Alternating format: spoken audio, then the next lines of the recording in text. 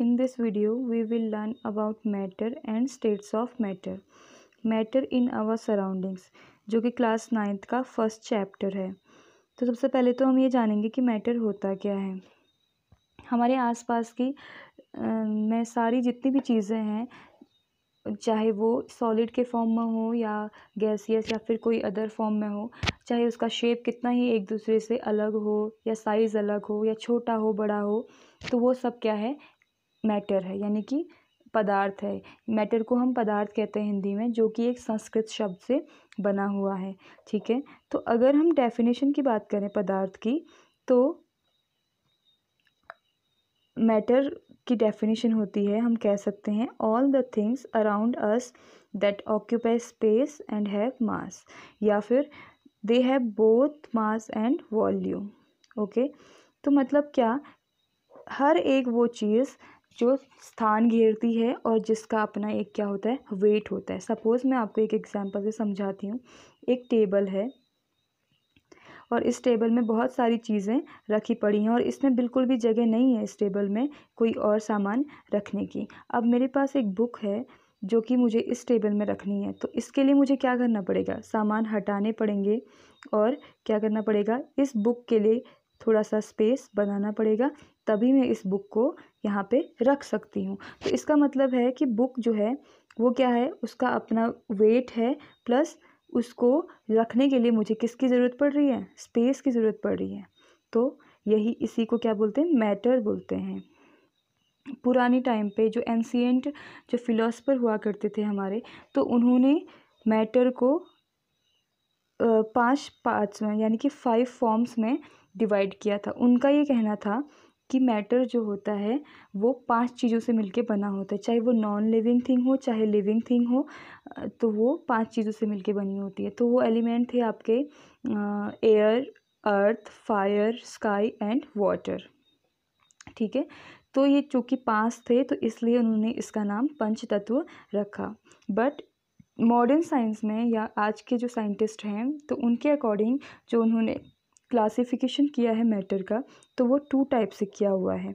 तो पहला क्लासिफिकेशन उनका based on nature physical nature ठीक है? और दूसरा है आपका केमिकल नेचर फ़िज़िकल नेचर का मतलब यहाँ पे इस चीज़ से है कि कोई भी चीज़ का हम जो क्लासिफिकेशन करते हैं, वो उसका शेप साइज़ या कलर देख के करते हैं। यानी कि आउटर अपेयरेंस यानी कि बाहरी आवरण उसका किस टाइप का है, उस हिसाब से बात करते हैं फ़िज़िकल नेचर में और केमिकल नेचर हम आने वाले चैप्टर्स में पढ़ेंगे। तो उसके बाद आती है characteristics of matter characteristics of matter में यानी कि मैटर के क्या क्या लक्षण होते हैं और कैस क्या क्या कैरेक्टर होते हैं, ठीक है? तो जो फ़र्स्ट कैरेक्टर है, वो वो है आपका made matter is made up of tiny particles यानी कोई भी पदार्थ है, वो बहुत छोटे छोटे कणों से मिलके बना होता है। चाहे वो एक चौक है या फिर चाहे वो लकड़ी है, एक लकड़ी का बेड है तो ये क्या है? लग, ये भी क्या है? आपके स्मॉल स्मॉल पार्टिकल्स बहुत छोटे छोटे कणों से मिलकर बना है और एक चौक जो है, वो भी क्या है? छोटे छोटे कणों से मिलकर बना है। यानी कि हर एक पदार्थ जो है, वो छोटे छोटे कणों से मिलके बना होता है।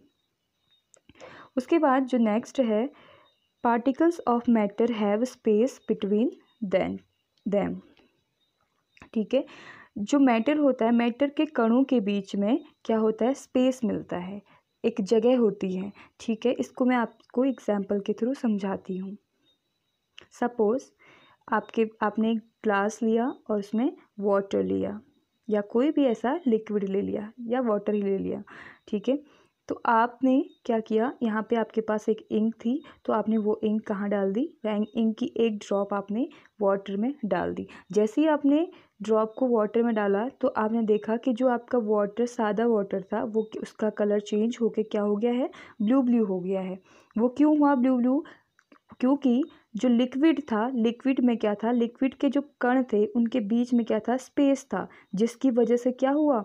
वो जो ब्लू ड्रॉप था, वो कहाँ? इस चीज़, इन स्पेस में फिल हो गया। तो इससे हमें ये पता चलता है और ये प्रूफ होता है कि matters have space between them okay तो नेक्स्ट नेक्स्ट जो थर्ड वाली प्रॉपर्टी है या थर्ड वाला कैरेक्टरिस्टिक्स है, वो है आपका particles of matters are continuously moving ठीक है? तो जो मैटर के पार्टिकल्स होते हैं, वो अप, आपस में क्या करते हैं? मूवमेंट करते रहते हैं। तो मूवमेंट करते रहते हैं तो इसका मतलब होता है कि सपोज़ आपकी जैसे पा, पार्टिकल्स अपने आप में मूवमेंट करते हैं तो उससे क्या होता है एक एनर्जी निकलती है। एनर्जी निकलती है तो उस एनर्जी को हम क्या कहते हैं? उस एनर्जी को बोलते हैं काइनेटिक एनर्जी या फिर उसको हिंदी में बोलते हैं गतिज ऊर्जा। ठीक है? तो ये गतिज ऊर्जा क्या होती है कि जब भी टेम्परेचर बढ़ाओगे आप किसी चीज़ का तो ये गतिज ऊर्जा भी उतनी ही बढ़ती रहती है। तो गतिज ऊर्जा का एक उदाहरण मैं आपको बता देती हूँ। कि पार्टिकल्स कैसे मूव करते हैं? सपोज़ आपने, आपका एक रूम है और रूम पे आपने धूप या अगरबत्ती जला दी, ठीक है? तो आपके जो, उस रूम के, जिस रूम पे आपने धूप, अगरबत्ती जलाई है, उस रूम के जो बगल रूम या उससे बाहर का जो रूम है तो उस अगरबत्ती का धुआँ उस बाहर के रूम पे भी पहुँच जाता है, ठीक है? तो वो इसलिए पहुँचता है क्योंकि उसके पार्टिकल्स जो धूप, अगरबत्ती है, वो क्या है? गैस है गैशियस फॉर्म में है तो उसके पार्टिकल्स क्या होते हैं? मूव करते हैं और वो मूव करते करते कहाँ पहुँच जाते हैं? दूसरे रूम पे भी पहुँच जाते हैं।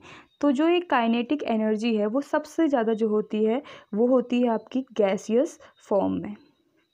ठीक है? और उसके बाद लिक्विड में मिलती है काइनेटिक एनर्जी और दूस थर्ड मिलती है सॉलिड में। ठीक है? तो अभी एक और चीज़ मैं आपको बता देती हूँ, जो कि नीचे पहले मैंने बताया है, आपको इसके नीचे मैंने लिखा हुआ है। वो है आपका डिफ्यूज़न डिफ्यूज़न एक वर्ड आता है तो इसका मीनिंग क्या होता है, जो कि मैंने आपको थोड़ा बताया एग्ज़ाम्पल के थ्रू तो डिफ्यूज़न होता है particles moves from high concentration to lower concentration यानी कि जो कण होते हैं मैटर के, वो कहाँ से जाते हैं? हाई कंसनट्रेशन से किस तरफ़ की ओर मूव करते हैं? लोअर कंसनट्रेशन की तरफ़ मूव करते हैं। तो इसी को क्या बोलते हैं? डिफ्यूजन की प्रोसेस बोलते हैं। और इसका एग्ज़ाम्पल मैंने आपको ये धूप अगरबत्ती वाला बता दिया है। ठीक है? तो आई थिंक आपको समझ में आ रहा होगा। Particles of matter attract each other ठीक है? तो पार्टिकल्स जो मैटर के पार्टिकल्स होते हैं, जो मैटर के कण होते हैं, वो तो छोटे छोटे कणों से मिलकर बना होता है। आपको पता है स्पेस भी होता है, वो भी हमने पढ़ लिया और मूव करते हैं, ये भी पढ़ लिया। और क्या होता है, वो पार्टिकल्स क्या करते हैं, एक दूसरे को अपनी तरफ़ खींचते भी हैं। जैसे आप कोई एक सॉलिड की चीज़ देख लो, या फिर आप कोई एक लोहे का आपके पास कोई बॉक्स जैसा है, या फिर आप लोहे की एक डंडी है आपके पास तो उस लोहे की डंडी को अगर आप क्या कर सको, तोड़ना चाह रहे हो, यहाँ से भी खींच रहे हो और यहाँ से भी खींच रहे हो और दोनों साइड से खींचना चाह रहे हो तो आपको लगता है कि क्या वो आप अलग कर पाओगे या ब्रेक कर पाओगे उसको? नहीं, आप कितना भी उसको फोर्स लगा लो तो आप ब्रेक नहीं कर पाओगे। क्यों? क्योंकि जो लोहे के पार्टिकल्स हैं, इस साइड से भी जो रॉड के जो पार्टिकल्स हैं, वो एक दूसरे को क्या कर रहे हैं? अपनी तरफ़ की ओर खींच रहे हैं। तो यही चीज़ इस बात को प्रूव करती है कि particles of matter attract each other. तो डिफ्यूज़न हमने पढ़ लिया है। अब बात आती है स्टेट्स ऑफ़ मैटर तो मैटर थ्री स्टेट्स में मिलता है। वैसे तो मैटर फाइव स्टेट्स में मैटर की फाइव स्टेट्स होती हैं बट जो हम लोग पढ़ते हैं, जो आपकी मान्य है, वो है आपकी थ्री स्टेट्स फ़र्स्ट तो आपका हो गया सॉलिड दूसरा लिक्विड और गैस जो चौथी होती है, एक होती है प्लाज्मा और जो फिफ्थ हो फोर्थ होती फिफ्थ होती है, वो होती है बोस आइंस्टाइन कंडेंसेट ठीक है? जो हम सिर्फ़ इन तीनों चीज़ों के बारे में कहेंगे। इसका मैंने आपको बस थोड़ा सा यहाँ पे डायग्राम के अकॉर्डिंग दिखा देखो ये होगी सॉलिड यानी कि कोई भी ठोस चीज़ जो है वो है सॉलिड और लिक्विड आप तरल फ्लूड के फॉर्म में होती है वो होती है लिक्विड और गैसियस तो फिर आप समझते ही हैं। सॉलिड को पहले सॉलिड की क्या प्रॉपर्टीज़ होती हैं फिर लिक्विड की पढ़ेंगे और फिर गैस को समझेंगे ठीक है? तो आपका जो फ़र्स्ट स्टेट जो है हम लोग पढ़ेंगे वो है सॉलिड स्टेट तो सॉलिड स्टेट में क्या होता है कि उसका एक क्या होता है डेफिनेट शेप होता है एंड फिक्स्ड वॉल्यूम जब भी मैं आपको एक समझा रही हूँ ना तो उस टाइम पे आप अपने दिमाग में एक चीज़ रख लीजिए, कोई भी सॉलिड चीज़। सपोज़ एक लकड़ी का गुटका है, हमने वो रख लिया तो हम उसको कैसे ले रहे हैं कि लकड़ी के गुटके जो है उसका एक डेफिनेट शेप है। हाँ अगर वो स्क्वायर है तो फिर स्क्वायर है, या फिर रेक्टेंगल है तो हाँ ठीक है, उसका एक प्रॉपर है। ये नहीं कि अभी दो घंटे बाद वो अपने आप से स्क्वायर बन जाएगा, या रेक्टेंगल वाला स्क्वायर बन जाएगा, या स्क्वायर वाला रेक्टेंगल बन जाएगा, नहीं। ठीक है तो उसका एक डेफिनेट शेप है और उसका एक वॉल्यूम है, या उसका उसका एक क्या है, अपना एक प्रॉपर वेट है। अब इसको आप सपोज़ कहाँ टेबल पे रखो तो भी ये उतना ही रहने वाला। या आप इसको थाली में रख दो, तभी भी ये गुटका यही रहने वाला, क्योंकि उसका शेप भी डेफिनेट है फिक्स्ड है, निश्चित है, और वॉल्यूम यानी कि वेट भी उसका क्या है फिक्स्ड है। ठीक है? तो दूसरा आपका आता है इसमें, वो है आपकी हैव नेग्लिजिबल कंप्रेसिबिलिटी यानी कि कंप्रेसिबिलिटी मतलब कि उसको दबाने की क्षमता जो है। अब उसके पार्टिकल्स इसका रीज़न क्या है? उनकी पार्टिकल्स क्या होते हैं? सॉलिड के। काफ़ी क्लोजली पैक्ड होते हैं, बहुत बहुत ज़्यादा क्लोजली क्लोज क्लोज क्लोज होते हैं। तो अब क्या है, उनके बीच में स्पेस कम है। तो अब अगर आप उसको यहाँ से फोर्स लगा के और यहाँ से फोर्स लगा के दबाने की कोशिश करोगे तो क्या वो कंप्रेस हो पाएँगे? नहीं, वो कंप्रेस नहीं हो पाएँगे। तो इसमें क्या होती है, बहुत शून्य के बराबर होती है कंप्रेसिबिलिटी जब हम इसको दबाते हैं तो ये कंप्रेस नहीं होते। अगर देखो सपोज़ आप, मैंने बोला, आपको एक इमेजिन करो लकड़ी के गुटके। अगर आप इसको यहाँ से भी दबा रहे हो, यहाँ से दबा रहे हो तो क्या ये पिचकता है? नहीं, ये कंप्रेस नहीं होता है। तो इसमें क्या होती है? नेग्लिजिबल जो प्रेसिबिलिटी होती है, वो होती है बहुत ही कम। ठीक है? उसके बाद आता है इंटर मोलिकुलर स्पेस ठीक है? तो इंटरमोलिकुलर स्पेस का मैंने पहले भी एग्ज़ाम्पल बता रखा है। इंटरमोलिकुलर स्पेस यानी कि जो ये जो इनके पार्टिकल्स होते हैं, इनके बीच में जो जगह होती है, वो बहुत ही कम होता है, कम होती है। हम ये नहीं कहेंगे नहीं होती है, नहीं कहेंगे। हम ये कहेंगे कि हाँ इसमें क्या होती है, सबसे कम होती है, ठीक है? तो क्या होता है? ये तो आपकी इंटरमेरिकुलर स्पेस की बात होगी। उसके बाद बात आती है काइनेटिक एनर्जी की बात, ठीक है? तो काइनेटिक एनर्जी भी क्या होती है? इसमें बहुत कम होती है। अब क्यों होती है काइनेटिक एनर्जी कम?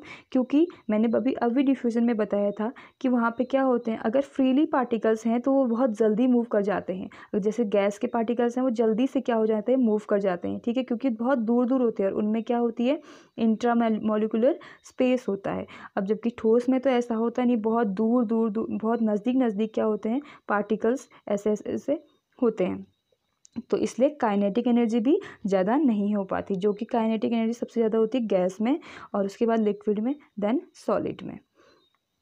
उसके बाद जो लास्ट प्रॉपर्टी है सॉलिड की, वो है आपकी सॉलिड में break under force but it is difficult to change their shape so they are rigid ठीक है? इसका मतलब हुआ कि सॉलिड को हाँ आप अगर फोर्स लगाते हो तो वो क्या होगा, उसका शेप तो चेंज नहीं हो सकता है बट क्या है कि उसका चेंज शेप तो नहीं उसका पर वो हाथ ज़रूर टूट सकता है। सपोज़ आपके पास एक कोई लकड़ी है और अब आप क्या कर रहे हो, अगर आप इसको दबा रहे हो या खींच रहे हो या तोड़ना चाह रहे हो यहाँ से तो आप इसको तोड़ रहे हो तो इसमें फोर्स लगा रहे हो तो इसका शेप तो चेंज नहीं होगा, बल्कि क्या होगा, ये यहाँ से लकड़ी अलग हो जाएगी और ये पार्ट अलग हो जाएगा, यानी कि वो टूट जाएगा बट फिर भी उसका शेप चेंज नहीं हो पाएगा।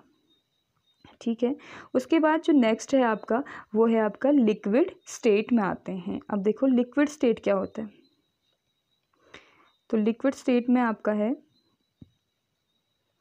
हाँ तो लिक्विड स्टेट में क्या होता है कि उसका एक डेफिनेट शेप नहीं होता है मीन्स कि इनडेफिनेट शेप होता है, पर उसका जो वॉल्यूम होता है वो फिक्स्ड होता है। इसका मतलब नेक्स्ट में क्लियर हो जाएगा। देखो क्या है? They take up the shape of the container in which they are kept मतलब क्या हुआ? देखो, अभी आप, मैंने बोला लिक्विड है तो आप अपने दिमाग में सोचो, एक वाटर है, ठीक है? तो वाटर है यहाँ पे आपके पास एक ग्लास ठीक है? अभी आपने इसको कहाँ डाला है?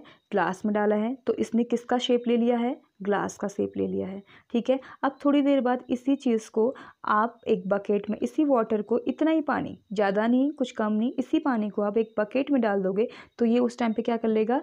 बकेट का शेप ले लेगा राइट और या फिर अगर आप इसको बॉटल में डालना चाहो इसी पानी को तो आप बॉटल में डालोगे तो ये क्या करेगा? उसी बॉटल का शेप ले लेगा, ठीक है? पर इसका वॉल्यूम जो होता है वो फिक्स रहेगा, यानी कि उसका वेट तो उतना ही रहेगा जितना वो बकेट में होगा फील होगा उसका वेट उतना ही बॉटल में भी फील होगा, उतना ही ग्लास में भी फील होगा, ठीक है?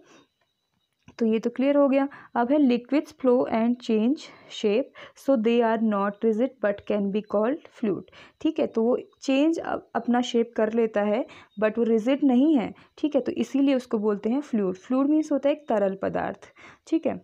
अब नेक्स्ट है have greater space each other as compared to particle in the solid state ठीक है तो सॉलिड स्टेट में तो क्या था? मैं, हमने पढ़ा था कि बहुत नज़दीक नज़दीक होते हैं पार्टिकल्स तो इसलिए उनके बीच में स्पेस काफ़ी कम होता है। बट इसमें क्या होता है कि एज़ कंपेयर टू सॉलिड इसके, उसके मुकाबले इसमें क्या होता है? स्पेस जो होता है इनमें थोड़ा सा ज़्यादा होता है, ठीक है? सपोज़ इतना उसमें था, किसमें? सॉलिड में इतना था तो लिक्विड में क्या होता है? थोड़ा सा ज़्यादा होता है। किसके कंपैरिजन सॉलिड के कंपैरिजन ठीक है? उसके बाद बात आती है आपकी किसकी intermolecular space available more than solid particles हाँ बार बार हमने ये सेम चीज़ कह रहे हैं तो ये आपके क्लियर होगी होगी कि इसमें क्या होता है? अंतरा आणविक स्पेस जो जगह होती है, इसका मतलब हिंदी में होता है अंतरा आणविक जो स्पेस मीन्स होता है जगह, वो बहुत थोड़ा ज़्यादा होती है किसके कंपैरिजन ठोस के कंपैरिजन गैसेस में क्या होता है कि neither fixed volume nor fixed shape यानी कि ना तो इसका क्या होता है फिक्स्ड वॉल्यूम होता है और ना ही इसका फिक्स्ड शेप होता है, ठीक है? मतलब कि ना इसका प्रॉपर एक वेट होता है फिक्स वेट होता है और ना ही इसका कोई शेप होता है, ठीक है? अब देखो हाई कंप्रेसिबिलिटी होती है। इसमें क्या होती है? कंप्रेस किया जा सकता है, क्योंकि इसके पार्टिकल क्या है? रीज़न क्या है उसके पीछे? पार्टिकल उसके बहुत दूर हैं तो मॉलिकुलर स्पेस ज़्यादा है तो अब हम क्या कर सकते हैं? इनको यहाँ से भी, यहाँ से भी, ऐसे अगर लेके आए क्लोजली तो ये क्या हो सकते हैं? प्रेस हो सकते हैं, हम इसको दबा सकते हैं, ठीक है? तो जैसे इसका एक एग्ज़ाम्पल तो मैं आपको बता दूँ। हम लोग गैस सिलेंडर यूज़ करते हैं, जिसमें एलपीजी भरी जाती है, ठीक है? तो उसमें क्या होता है, या फिर ऑक्सीजन सिलेंडर्स देख लो तो उसमें क्या होता है कि यहाँ से आप, इसमें छोटा सा यहाँ से आपका ओपन होल होता है तो यहाँ से आपको क्या करना है, मशीन से आप या पाइप से जो भी होता है, उससे आप क्या भरते हो, यहाँ पे हवा भरते हो, ठीक है? तो जो कंप्रेस करके क्या की जाती है, इसके अंदर डाली जाती है जिससे खाना बनता है, ठीक है? तो वो भी क्या है, क्यों? क्यों कैसे भरा जा रहा है? क्योंकि इसकी क्या है हाई कंप्रेसिबिलिटी है, किसमें? गैस में, ठीक है? और इसका हमने डिस्कस कर ही लिया है कि डिफ्यूज़न बहुत जल्दी होता है इसमें। वो अगरबत्ती वाला, धूप वाला जो मैंने एग्जांपल दिया, वो डिफ्यूज़न का ही था और वो सबसे ज़्यादा जो मिलता है वो गैस में मिलता है, ठीक है? और इसमें मच इंटरमोलिकुलर स्पेस है, यहाँ पे much inter intermolecular space present रहता है। फिर है the the last one is particles move about randomly at high speed जो कि, जो पार्टिकल्स होते हैं, जो उसके कण होते हैं गैस के तो ये क्या करते हैं? रैंडमली मूव करने लगते हैं। यानी कहीं किसी भी तरफ़ की तरफ़, कभी भी क्या करने लगते हैं? मूव करने लगते हैं। कहीं किसी भी साइड या किसी भी डायरेक्शन में मूव करने लगते हैं और बहुत हाईली मूव करते हैं, क्योंकि फ्रीली हो फ्रीली मूव करते हैं, क्योंकि इंटरमोलिकुलर स्पेस होता ही है। ठीक है? और बहुत ही कंटीजीनियस होते हैं इसके जो पार्टिकल्स। ठीक है तो मैंने यहाँ पे थोड़ा सा दिखाया है कि सॉलिड का सॉलिड में कैसे क्लोजली पैक्ड होते हैं और लिक्विड में कैसे इंटरमोलिकुलर स्पेस होता है थोड़ा थोड़ा किसके सॉलिड के कंपैरिजन लिक्विड में थोड़ा ज़्यादा होता है और गैसियस के जो पार्टिकल्स होते हैं या जो कण होते हैं वो फ्रीली घूमते रहते हैं। ठीक है, आई होप आपको मेरी एक्सप्लेनेशन समझ में आई होगी।